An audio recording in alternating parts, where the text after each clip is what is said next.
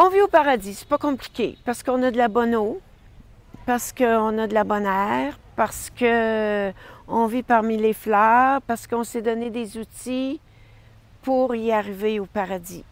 Bien, ça a commencé en voulant garder notre bureau de poste, en voulant garder notre école. Là, on garde notre église. Euh, donc, ça fait 41 ans que je vis ici.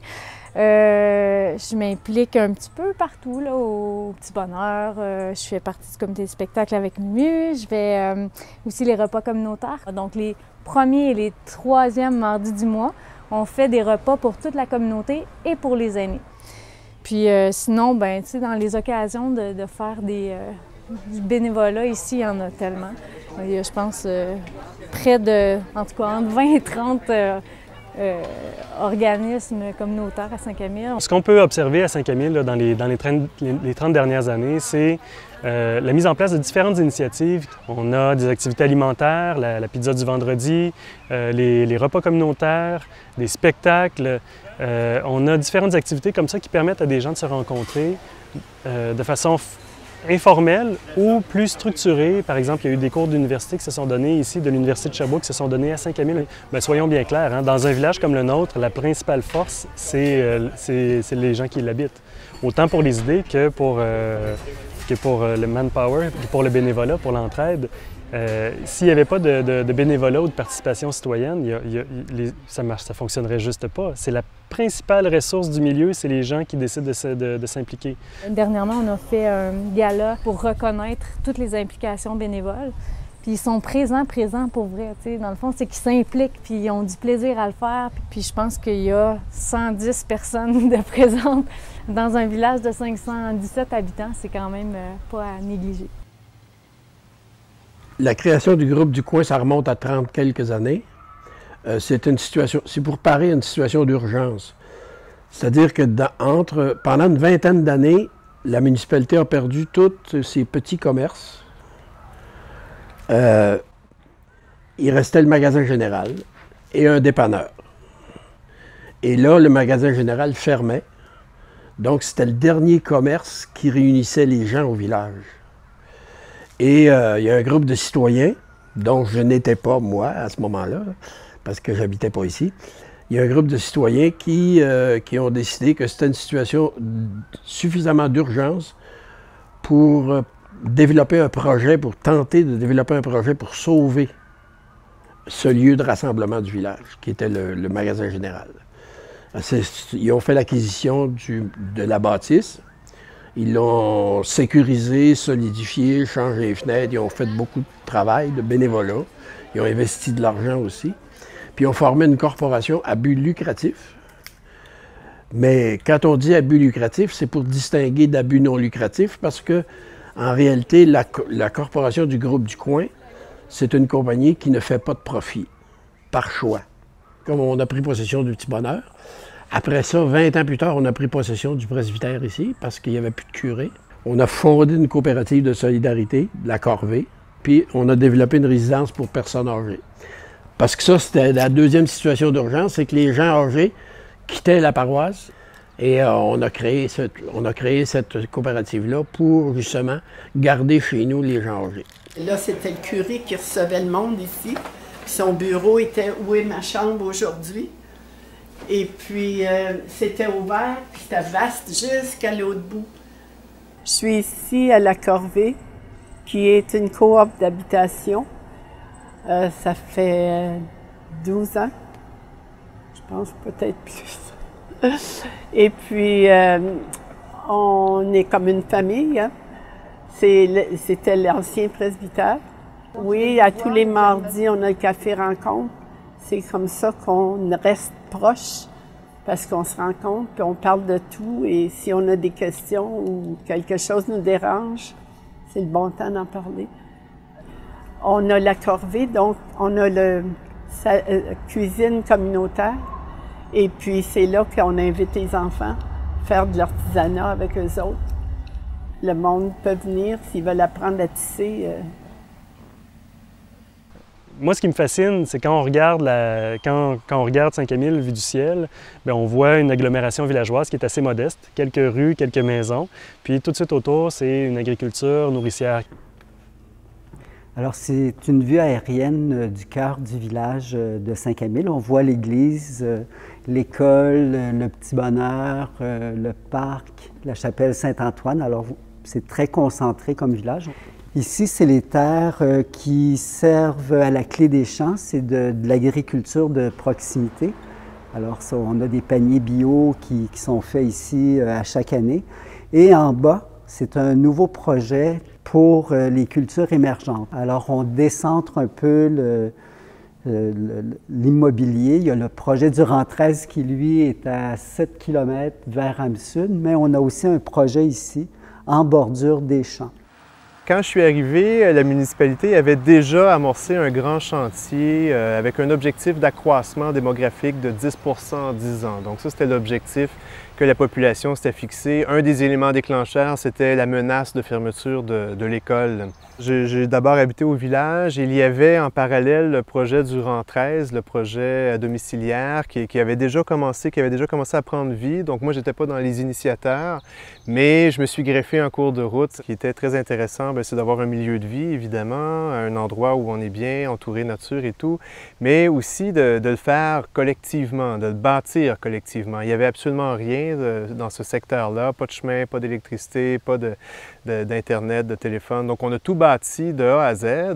Puis un petit peu, euh, ben, en fait, sans savoir dans quoi on s'embarquait. Ça a été beaucoup plus difficile que ce qu'on pensait, beaucoup plus long que ce qu'on pensait, mais c'est la solidarité, c'est le fait qu'on avait un projet en commun, euh, c'est le fait qu'on pouvait le réaliser ensemble aussi, euh, qui, a été très stimulant et qui nous a permis de passer au travers ça et qui fait aussi en sorte qu'on est content, on est fier d'avoir réussi le projet et d'habiter là et de maintenir ces liens sociaux-là entre nous aussi par la suite.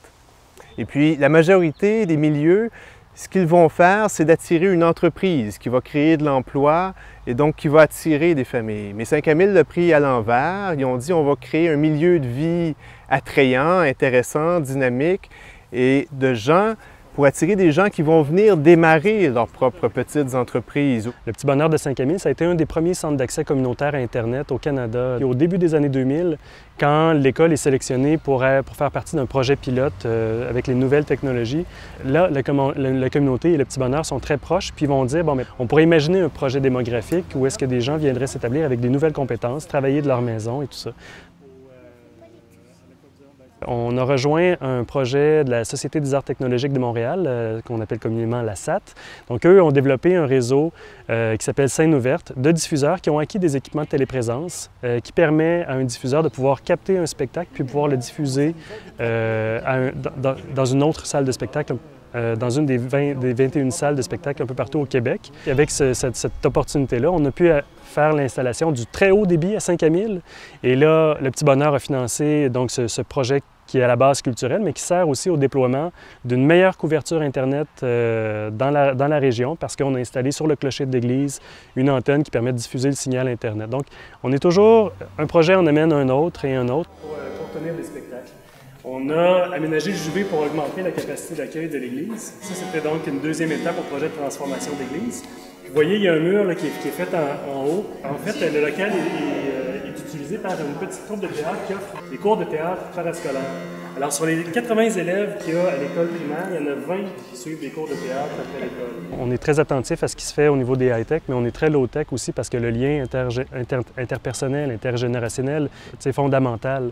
Et donc, euh, on essaie de travailler aussi à partir de notre terroir. On travaille avec une coopérative qui s'appelle la coopérative Culture Innove, qui se spécialise dans le service conseil au niveau des productions émergentes. Donc, plantes médicinales, champignons forestiers, euh, cultures fruitières euh, comme de l'aronia, de l'argousier, de la camerise, donc des, petits fruits qui sont en pleine explosion ici au Québec. Et avec elle, cette coopérative-là, on est en train d'implanter un centre d'acquisition de, de, connaissances agronomiques sur les cultures émergentes qui va être parmi un, un des plus importants au Canada sur cette question-là. C'est sûr que Saint-Camille est souvent cité comme un modèle de développement, puis je pense que dans une certaine mesure, c'est vrai que c'est passé des choses assez extraordinaires pour un si petit village de, 500 habitants. C'est comme s'il y avait un potentiel de réaliser différents projets ici, une communauté qui est prête euh, à expérimenter en quelque sorte. Un espèce de laboratoire. En même temps, il faut garder en tête que euh, au-delà du récit, ben, comme partout ailleurs, les choses sont, sont, fragiles, sont difficiles. À un moment, ici à Saint-Camille, il y a un groupe de chercheurs qui est venu réfléchir avec la population pour essayer d'identifier la recette euh, du, développement tel qu'il se fait, tel qu'il se fait ici. Et la population a dit, ben, c'est pas vraiment une recette, euh, on, le fait à notre manière, mais d'autres peuvent le faire de d'autres manières. Et, la population en est arrivée à dire, ben, il y a peut-être des ingrédients par contre. Il y a plusieurs éléments qui ont été identifiés, la question de la solidarité, euh, la question de l'apprentissage euh, mutuel, toute la question de la culture, le fait d'avoir un lieu aussi de rassemblement est assez important. Et ce que les chercheurs ont, découvert, ou en tout cas ont identifié aussi comme facteur, c'est cette idée-là d'un leadership partagé? Eux, eux, le nomment comme ça. Donc, ce qu'ils veulent dire par là, c'est que ce n'est pas toujours un ou deux individus qui mènent tous les projets. Euh, le chapeau se promène de tête en tête. Il y a un premier élément qui va devenir une marque de Saint-Camille et qui le distingue probablement d'autres euh, d'autres expériences. C'est la réflexivité. C'est-à-dire qu'on commençait à réfléchir sur ce qu'il faisait, au-delà de juste répondre à des problèmes. Alors cette communauté euh, est probablement la plus innovatrice, la plus créatrice euh, parmi toutes les communautés rurales du Québec euh, depuis 20-25 ans. Parce que ce n'est pas une innovation, c'est un ensemble d'innovations récurrentes qui font en sorte que euh, cette communauté qui était euh, une communauté euh, dévitalisée aux années 80 est devenue, est devenue un exemple à, à suivre, aussi bien en milieu rural qu'en milieu urbain, pour la revitalisation des collectivités locales. Une des choses les plus importantes, c'est l'union entre une vision sociale, une vision de ce qu'on veut être comme communauté, et une vision de l'environnement physique dans lequel on est. Et il y a dans, dans, dans, la communauté des valeurs, des règles qui, les gens se sont données, qui ont co-construites et qui suivent.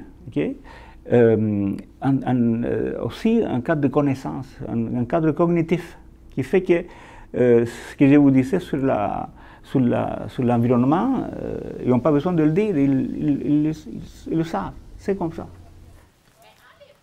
Il y a des, des, villages qui nous disent Mais qu'est-ce que vous avez, vous autres? Comment ça, ça marche Puis tout ça. Ben, ça marche parce que. Puis il y a de la continuité